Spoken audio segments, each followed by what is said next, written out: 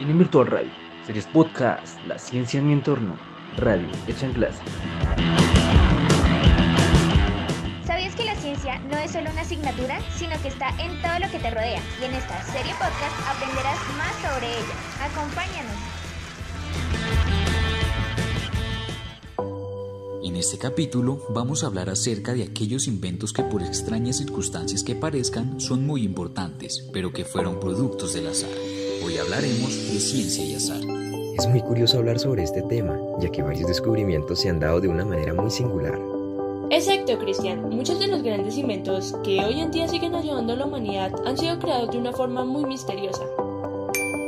Como ejemplo de esto, tenemos al gran químico ruso Dmitry Mendeleev, quien fue conocido por haber descubierto la tabla periódica de los elementos químicos.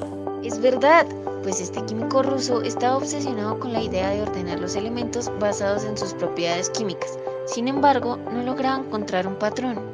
Pero esto cambió gracias a un sueño, y al siguiente día Dmitry escribió en su diario. Vi en un sueño una tabla en la que todos los elementos se encajaban en su lugar. Al despertar, inmediatamente anoté todo en una hoja de papel. Y en 1869, el químico Dmitry Mendeleev presentó su sistema de ordenación de los elementos. Y para conmemorar su siglo y medio de vida, el aporte de este científico ha sido tan importante para la ciencia y la cultura que incluso Naciones Unidas decretó el 2019 como el año de Mendeleev. ¿Y tú qué sabes de la tabla periódica? Después de hablar de la tabla periódica, hablaremos del químico belga Leo Baekeland quien fue el gran descubridor del polímero de muchos de los objetos que podemos apreciar hoy día, el cual conocemos como plástico. Este químico intentaba encontrar un sustituto para la laca que preservaba las maderas. Decidió hacer una mezcla de dos sustancias. Al ver que estas sustancias no eran maleables, la calentó a presión en una olla de hierro para hacerla menos rígida. Por consiguiente, generó el primer polímero completamente sintético, el que dio origen a la era del plástico, en la que andamos sumergidos y a pesar de este ser un gran invento, no se supo llevar de manera positiva y ahora la contaminación por este producto está acabando lentamente con el planeta. Los rayos X también fueron descubiertos por azar, por el físico alemán Wilhelm Röntgen en el año 1895, cuando le investigaba la fluorescencia que producían los rayos catódicos, que se generan en tubos de vacíos. El físico, tras cubrir el tubo con un cartón negro para eliminar la luz visible, observó un leve resplandor que desaparecía al apagar el tubo.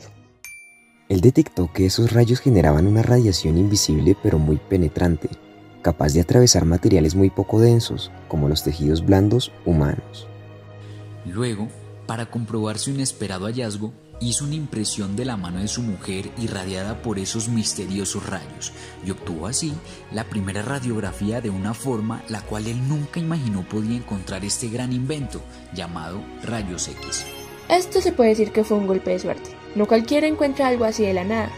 Es increíble este descubrimiento, ya que se trata de la madre de todos los antibióticos.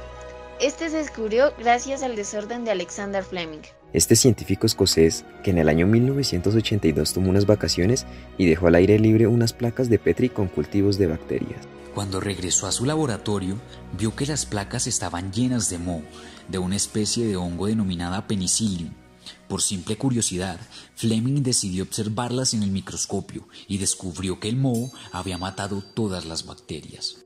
De esta manera se descubrieron los antibióticos, que permitieron combatir enfermedades que hasta bien entrado en el siglo XX se consideraban incurables. Y por último, les contaremos de qué manera tan curiosa fue descubierta la radioactividad. El físico francés Henri Becquerel descubrió la radiactividad en 1896, cuando investigaba el fenómeno de la fosforescencia. En uno de sus experimentos colocó sales de uranio sobre una placa fotográfica iluminada por el sol. Una noche entró a oscuras a su laboratorio y notó que las sales de uranio emitían radiación. Este descubrimiento le valió ganar el Premio Nobel de Física de 1903, compartido con Pierre y Marie Curie. Y así terminamos nuestro segundo capítulo. Esperamos que hayan aprendido tanto como nosotros.